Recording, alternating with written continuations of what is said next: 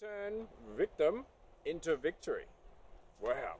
Today, arrogance or arrogant and the perception of it. Well, personally, I've never been a big fan of actually using the word. As you know, I've always been quite confident, and it very rarely comes into my vocabulary unless someone else brings it up. And let's have a look at it and say the perception of someone else being arrogant really, it's a form, it's that individual's perception that they've taken on board. It's a judgment of the other person's confidence level and that they may not be quite there yet.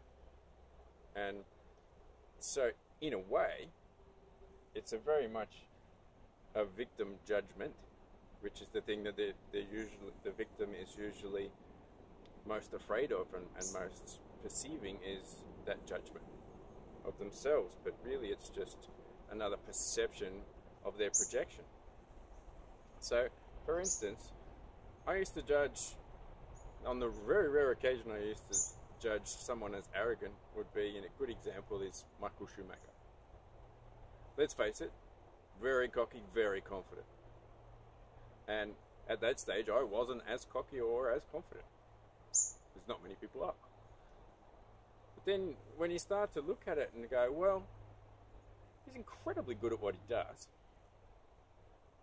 He's got the results on the board. And how, like, he's got the job done on a regular basis. And he's also programming his mind for excellence. And the win, that winning and that focus and that drive and determination as allowing him to do that on a more regular basis. So that's what his universe is like. And then perhaps someone like myself and most other people were judging his universe from within inside our own universe. So, in a way, it's very much energy vampiring. So, say for instance, he's got a lot of energy and a lot of you know, fame and power, and so he's got a lot of energy.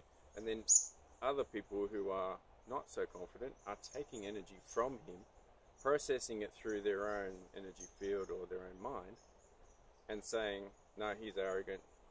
I'm a victim." Oh, jeez, don't even like saying that. So usually the person has got solar plexus or a base uh, feelings of insecurity. Um, digestion always fixes these things and improving that will change one's perception. So, is there an instance where you've possibly perceived someone as arrogant and we're not quite as confident as them?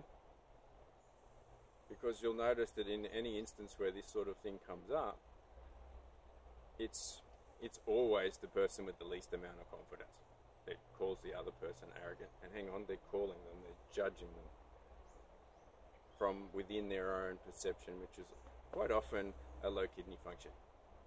So, hopefully, we've been able to identify an instance and then stop that from happening so it doesn't happen further in the future.